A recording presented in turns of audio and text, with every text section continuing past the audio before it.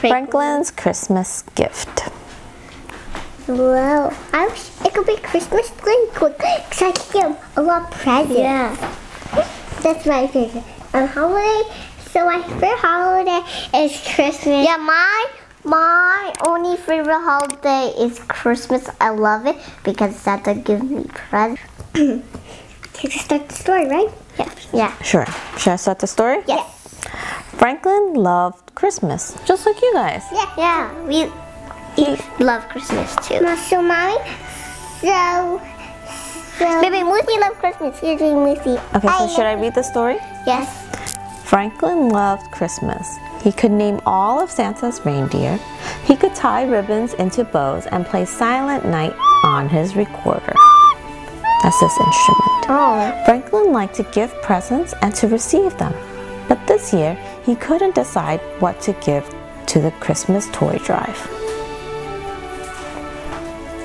Every December, the students in Mr. Owl's class donated toys for needy families. The toys could be new or carefully used. When Mr. Owl put out the collection box, everyone was excited. They had three days to choose the perfect gifts to give. So these toys are going to go to families who don't get toys. Does they have to think of ideas. What can they give away to those to those children? That evening, Franklin dug through his toys. He picked up a shiny red car. I remember this, he said, wheeling it around. Vroom. Next, Franklin pulled out a stuffed elephant and held her tight. I wondered where you'd gone, he cried. That means he thought he lost it. He has not seen these toys in a long time. Then Franklin found his best green marble.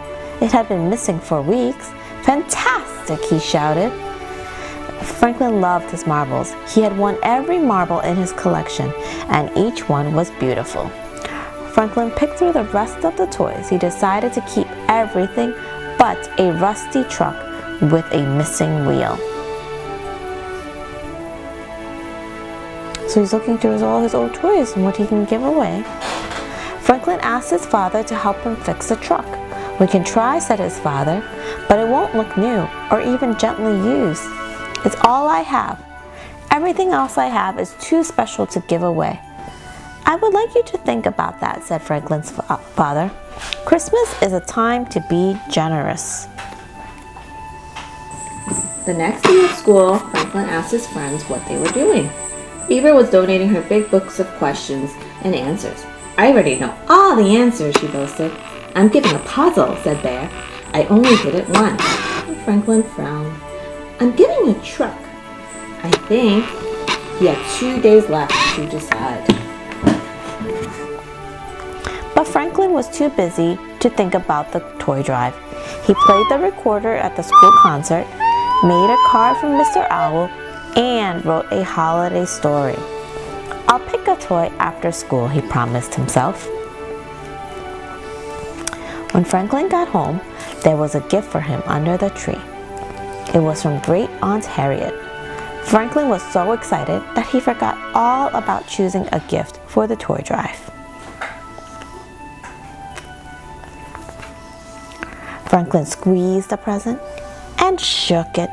No peeking, laughed his mother. Do you know what it is? asked Franklin eagerly.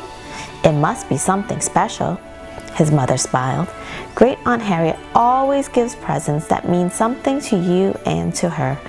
Like last year, said Franklin. Great Aunt Harriet knew that he loved to put on plays, and she gave him two puppets that had been hers when she was little. It was one of Franklin's best presents ever. Next day at school, the collection box was brimming. It was full of toys. You've all been very generous, said Mr. Owl.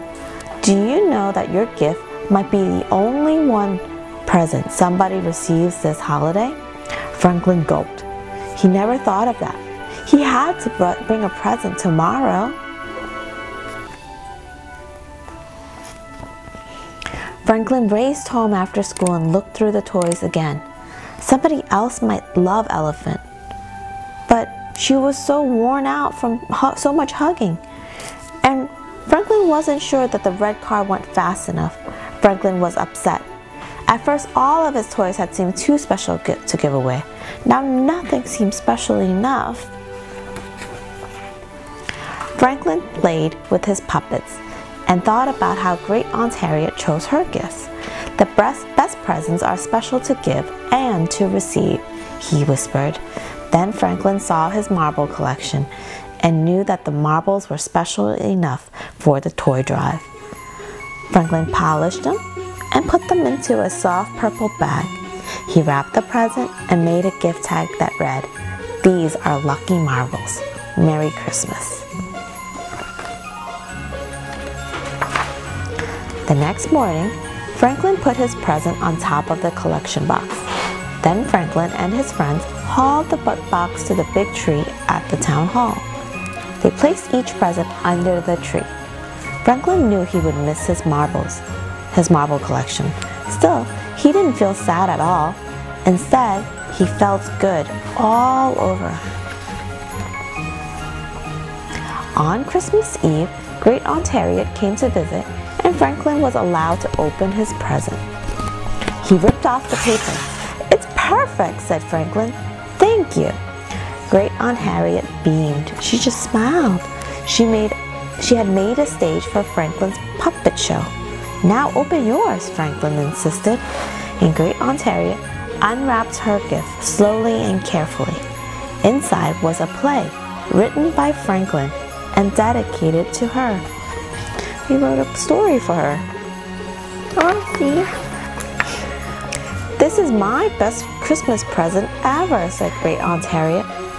And Franklin got that good all over feeling one more time. Oh, a snowman. Mm, You see how he has these great feelings for giving away some presents, special presents to people? Yeah. But mommy, you might lost your voice.